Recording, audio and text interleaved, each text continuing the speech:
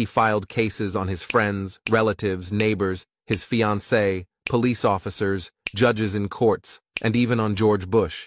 He has won about $8 million in the compensation of 2,600 cases that he has filed till now. His name was recorded in the Guinness Book of World Records, and then he even filled a case against them saying that the owners of Guinness Book of World Records published my personal life publicly in a book without even asking me about it. And that's against the law. He even won that law case and received $50,000. What are your views?